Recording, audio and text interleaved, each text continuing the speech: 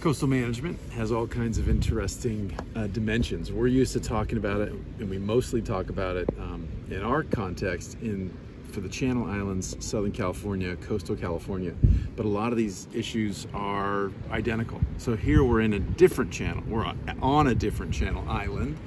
We're in Guernsey in the English Channel Islands. So we're about 27 miles from France here. And uh, but but a lot of these same things we'll see over and over again, and we see over and over again across the planet. So, for example, one of the things we see a giant cruise ship out there, so tourism.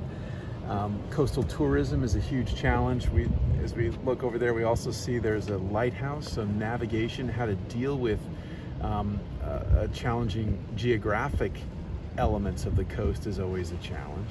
And as we spin in, we'll see, um, firstly on the coastline, a huge amount of very, very concentrated development. Everybody wants to be at the coast. We see that here. And this town has been going on for a long time. We also see a, there's a lot of um, fishing activity here. So there's a lot of uh, fishing going on. There's um, uh, nets. There are pots for crabs, scuba divers, uh, harvesting things, all kinds of stuff. This particular structure we're on um, is a fort that was the beginnings of which started in the 13th century and has been expanded over the years. Um, the uh, connections here, so the the causeway, the, the the access way, the breakwater, the protected area for the harbor here, this was um, this has been going on for centuries. First human habitation about 4,000 BC documented, um, uh, but uh, nevertheless, uh, uh, this causeway has been in, in, place for the last several hundred years and, and breakwater to protect the harbor. This particular access uh, point where those folks are walking, that was built in the um, late 1800s.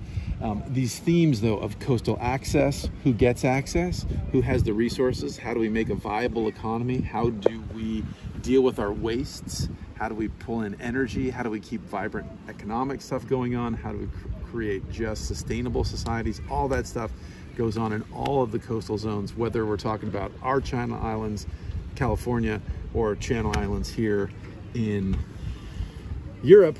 Um, universal themes, some answers are universal, others are site specific, but all of them share the same challenges and the same opportunities for better management of the coastal zone.